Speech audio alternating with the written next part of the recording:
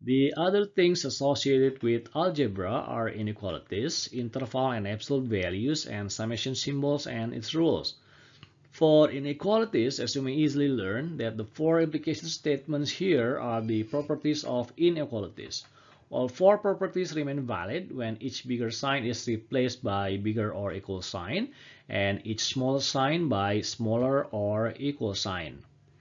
One thing that you cannot forget is that whenever two sides of an inequality are multiplied by a positive number, the direction of the inequality is preserved or unchanged. On the other hand, if the two sides of an inequality are multiplied by a negative number, the direction of the inequality is reversed, such as this. Multiplying both sides by minus 1 result now in 2x squared plus x is less than minus 4. As for intervals, the table and the number line illustration here should be clear for all of you. A is the example of the closed intervals.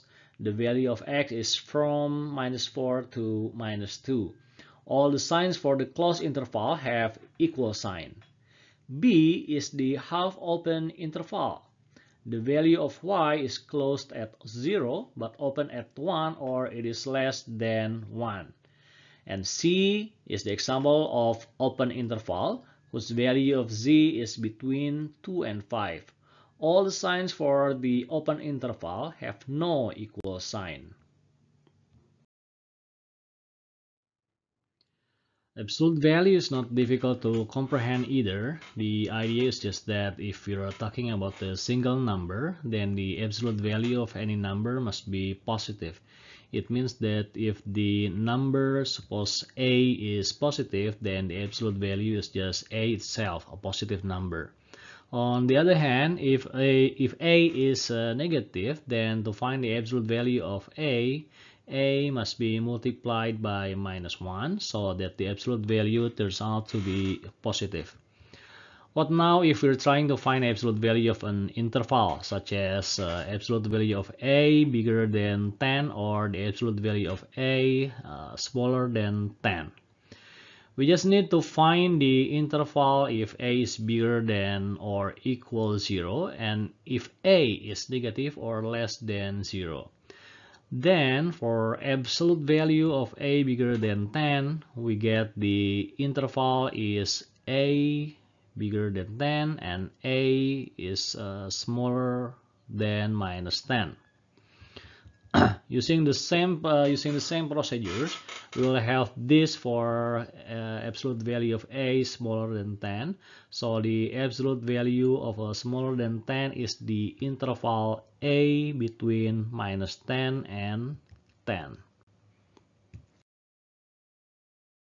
lastly about the summation symbol sigma. It helps us write summation of different series of natural numbers more comfortably See the first illustration here. When there are 6n that we would like to add, the notation of n1 plus n2 plus n3 up until n6 can be replaced by this sigma. Here the number is replaced by i, which is numbers from 1 to 6 representing number of the n.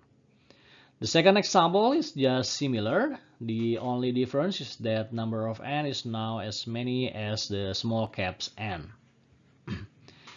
In the third example, the equation looks more complicated, but still, to read the sigma, we just need to continually add this expression with i from i equals 1 up until i equals n.